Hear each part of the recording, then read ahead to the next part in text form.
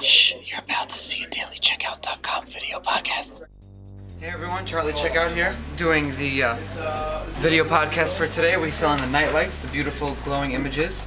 Uh, you get four of them. They really work well. They twist, they twivel. Um, they have the on and off button. You can put a picture in there.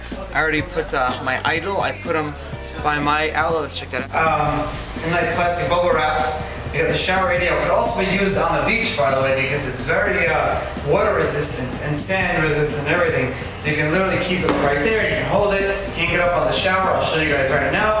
And uh, it sounds great.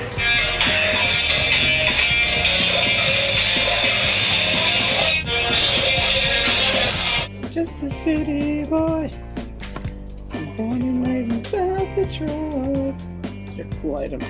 Hey everyone, Charlie Checkout here, during the uh, weekly, daily, monthly. I don't really know. We're just kind of testing this thing out today. Trying this new product, this FM radio pen.